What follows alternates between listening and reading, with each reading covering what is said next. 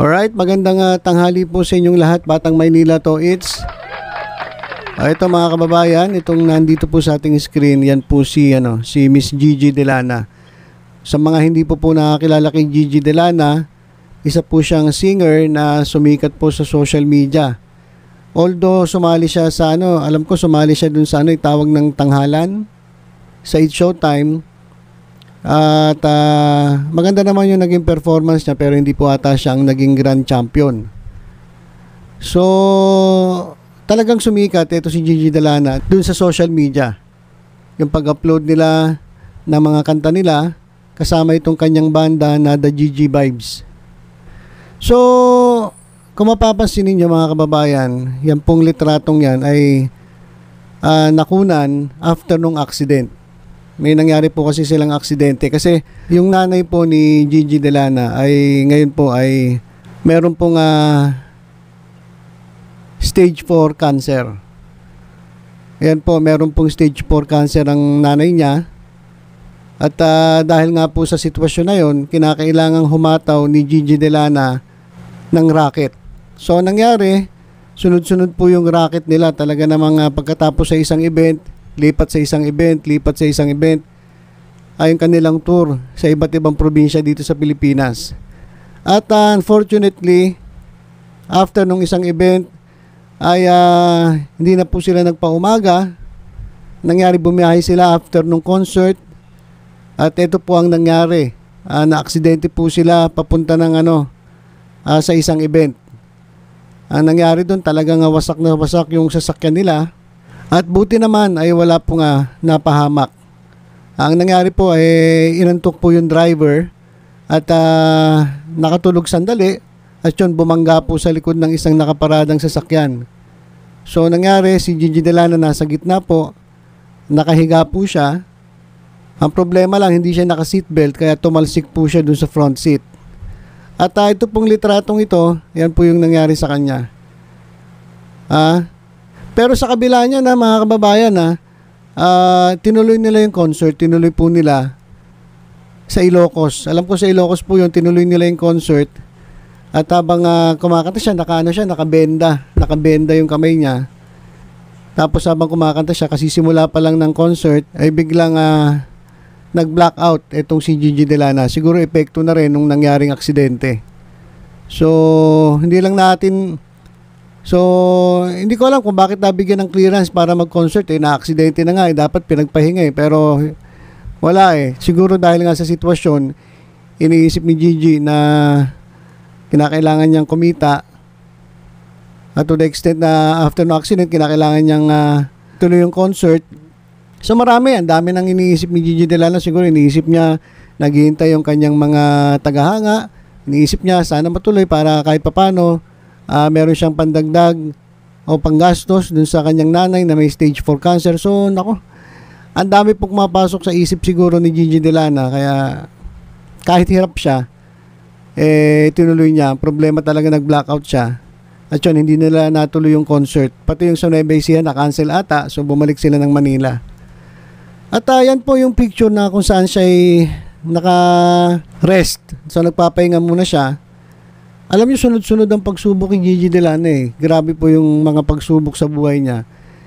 Ah, bago pa yung concert na yon, eh, sinabihan na siya ng doktor na magkakaproblema sa boses niya. Kasi parang may problema siya sa sa throat. Pinayuhan siya magpahinga, wag muna kumanta ng dalawang buwan. Pero bago siya magpahinga, ayun, nag-concert muna siya. After siguro nung kanilang tour, talaga magpapahinga na siya. Kaso inabutan po talaga ng ano eh, ng pagsubok sa buhay. Bago yung huling post ni Gigi Delana sa kanyang Facebook page, eh nagbibenta siya ng mga gamit. Nagbibenta siya ng kung ano-ano, yung mga ginamit niya ng concert, nagpa-auction siya, no, para mabenta yung mga damit, para pang, ano, pang gastos dun sa nanay niya na may cancer. So, ang nangyari pa nga dun, mga kababayan, eh, pinagtatawanan pa siya ng iba eh. Siguro, ah, kasi yung isa sa, o dalawa ata, sa mga binibenta niya, ang lalaki ng presyo, 60,000. Kasi yun po yung, ano, yung bid, bid price. At doon nga sa post niya, talagang ah, binaha ng mga laughing emoji. Ibig sabihin, natatawa sila dahil sobrang mahal nga nung isang crop top. Ang halaga ay 60,000 plus, 68,000 plus. So, maraming hindi nakaintindi sa ginagawa ni Gigi Delana pero meron din naman mga sumusuporta at uh, talaga nagpapaabot ng kanilang uh, uh, kind words para dito kay Gigi Delana at comforting words kay Gigi para talagang uh, kayanin niya yung dinadaanan niyang problema. So, hindi ko alam kung ano balita dun sa mga binibenta niya. Pero ito yung latest. Ito matindi mga kababayan. Ito yung pinost niya. Sabi niya, pakita ko po sa inyo yung post niya. Okay, so yun yung pinost si Gigi Delana. Sabi niya, Please be kind. Simula nang na-accident kami from car accident, ang dami ng nanang scam sa akin. Ninakawan ako sa BDO, kinuha lahat ng laman. Na pang medical bill sana, yun ni mama. Kaso wala kayong awa. Sinabihan pa ako sa phone call ng get well soon po kay Ma'am Gigi. Tapos after nun ninakawan na ako ng tuloy-tuloy hanggang maubos laman. Grabe kayo. Di na kayo naawa. Please wag kayo mang scam o magnakaw. Nga pala ito yung itsura ko nung after few days maaksidente. Sa mga hindi alam na ganito kalala and hinusgahan ako na nag-inarti ako, please be kinder. Love you all still. Please let us be kinder sa isa't isa. So, yun yung post ni Gigi Delana.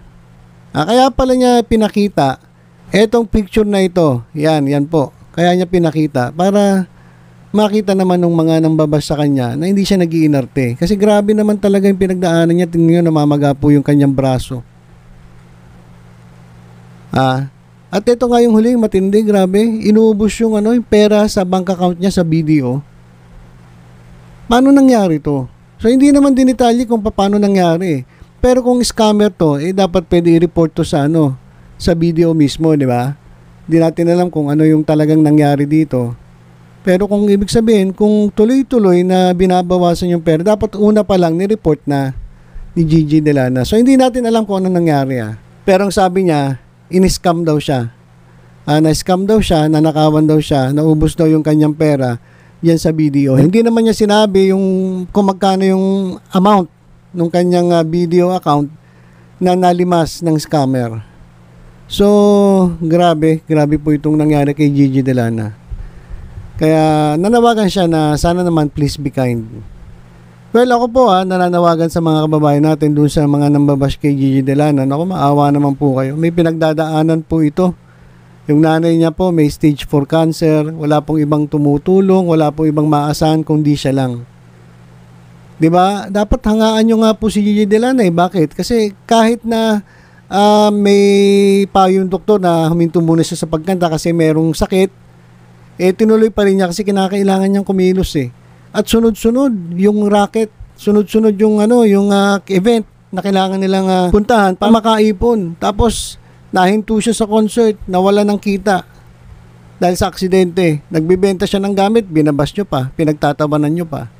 Huwag naman ganun. Huwag naman ganun kasi ewan ko lang ah, mahirap po kasi na mangyari sa atin yung nangyari sa kanya. Siya at least nakikita natin kinakaya niya. Kayo baka mangyari sa inyo yun, magulat kayo, hindi nyo kaya. Oh. Diba? So, dapat yung mga ganitong klaseng sitwasyon, dapat, kung di man kay Fanny Gigi Delana at naaartihan kayo, naiinis kayo, naku isang tabi nyo po muna yan. Bilang tao na lang po, bilang tao, intindihin natin yung nararamdaman ni Gigi Delana. At uh, lahat naman ng ito ay ginagawa niya para sa nanay niya na may stage 4 cancer. Hello mga nanonood dyan, mag-subscribe po kayo sa Batang Maynila Toys. Ay mali, ganyan pala.